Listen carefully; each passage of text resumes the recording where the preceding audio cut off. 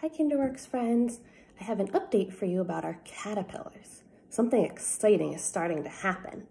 I'm gonna slide them over so you can see. If you look, they all started to climb to the top and they're hanging upside down. Let's see if you can kind of see. So some of the caterpillars are hanging upside down. They're getting ready to make their chrysalis. And if you look, I'm gonna carefully turn it because I don't want to disturb them.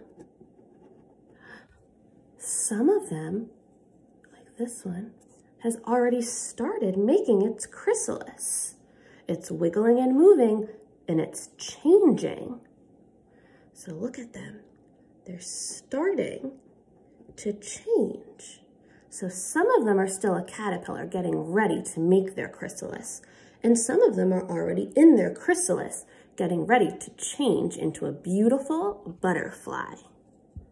So they'll stay in this cup for a couple more days until all of them are in their chrysalis.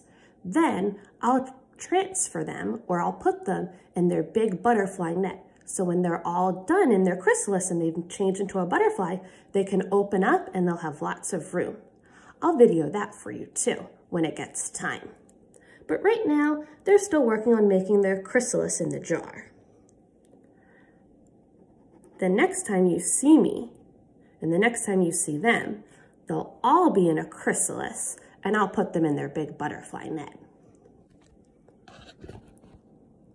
All right, bye Kinderworks friends. I'll see you guys soon.